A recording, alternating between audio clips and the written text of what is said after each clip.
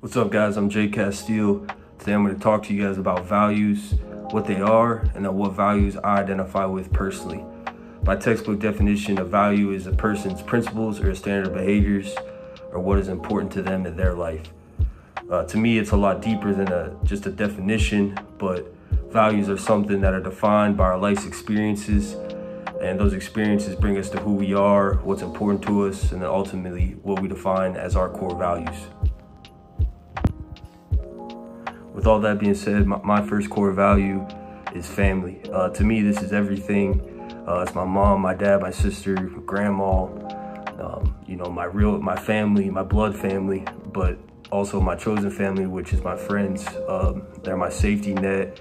They're always there for me, people I can bounce ideas off of, can, can pull me out of some tough times. Um, and I'll, you know, one of those times was when I, I moved to Arizona when I was 16, uh, my sophomore year of high school.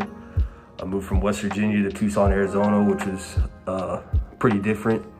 And we were the only part of our family that was west of Mississippi. So it was just us out there uh, on our own. All we had was each other.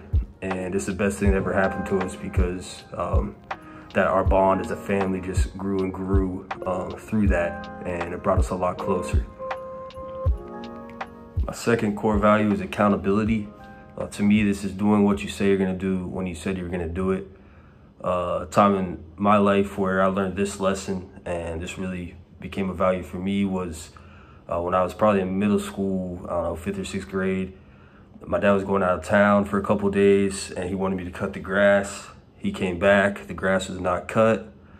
So the first thing he did, I was at my neighbor's house, went and grabbed me, walked me all the way back home, uh, walked every step of the yard with me while I cut the grass and was laying into me for about two hours, uh, which that all lasted a few days. But uh, with all that being said, I learned when you say you're going to do something, you better do it.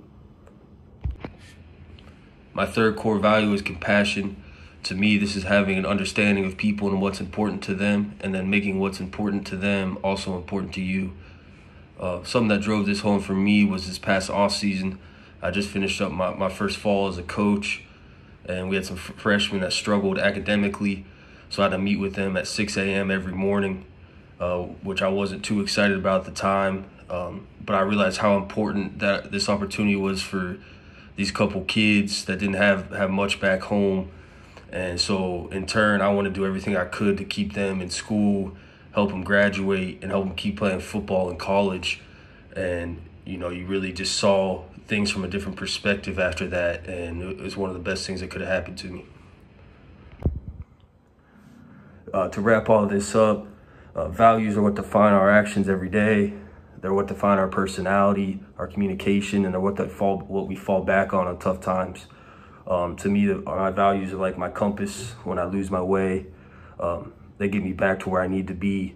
And I think as a leader and just for anybody that it's important to recognize your values, reflect on them, so you get a good understanding of yourself and who you are as a person um, and especially when you're in a leadership role, because if you don't know yourself, it's hard for people to follow you. Thanks, guys.